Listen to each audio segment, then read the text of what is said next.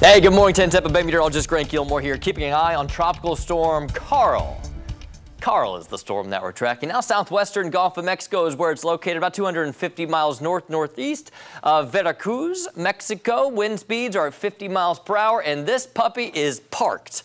It is stationary. It has been stationary for most of the night. It will begin to turn back to the south, though. We're starting to see that that suggestion that it's doing so, but don't worry, it's not heading our way. It, it will it will turn south and it will continue to head south, almost due south, as it tracks towards southeastern Mexico, making landfall sometime Friday night into Saturday morning. It's pretty much peaked at those wind speeds currently, which are right around 50 miles per hour. In fact, it's weakened a little bit since the last update, though. So that's what's going on with Karl staying away from us. Thank you. And uh, eastern Atlantic, also, this system's going to stay from, away from us if it even develops. It's a tropical wave coming off the coast of Africa. It'll give it a couple days before it really has a chance of developing, and even at that point, just a 20% chance that it becomes a tropical depression. All right, Jabari.